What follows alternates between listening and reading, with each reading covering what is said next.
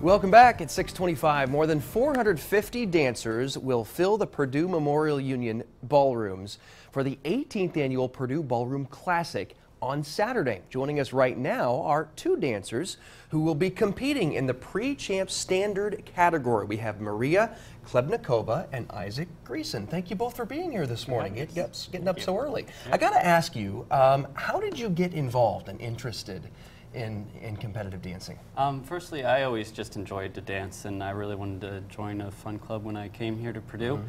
And so uh, it really met a lot of my needs that I wanted. So, yeah. How about you, Marie? Yeah, and I always liked dancing, Mm-hmm. like from early on. So when I found out Purdue had a ballroom team, I was very quick to join. All right, so we don't have much time, but we wanted to get a, a flavor of, of what this looks like. Now, I've never danced like this at all. I mean, my dancing is pretty much this, you know, back Yeah. and forth.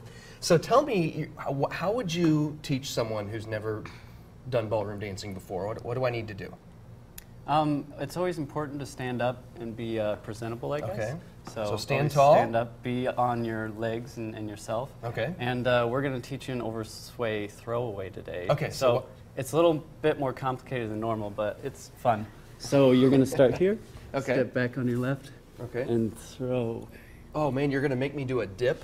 It's not too much of a dip. She's Okay. mostly on herself, not much weight on you. Okay, all right, pressure's off, right? Okay. Yeah. So I'm gonna stand like this, up tall? Yep.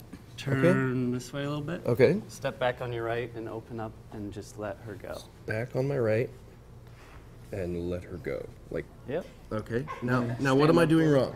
Uh, you can project your chest up a bit more, Okay. and she can be I look just there. really yeah. awkward. You make Nah, it look so easy. Uh, yeah, we practice a little bit. Let's see you do it. Okay, so usually we come from out here Okay. and just do a reverse, and then over.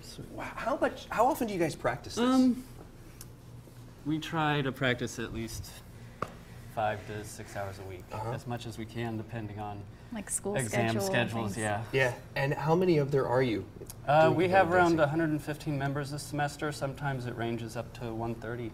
Wow, that's great. So Saturday, uh, you at home, you have the chance to come out and check out the classic at the Union. Uh, what do people need to know about this if they want to attend? Um, it's from 8 p or 8 a.m. to 8:30 p.m. So if Okay. you come out at any time of the day, there'll be dancing going on. We go pretty much nonstop. Over 50, 450 competitors, so we have a lot of dancing all day. And if you're interested to dance, just come and talk to one of us. Awesome. $10 for admission. Both of you, thank you so much for getting up early. Thank you. Great job. You look great. Thanks. Coming up.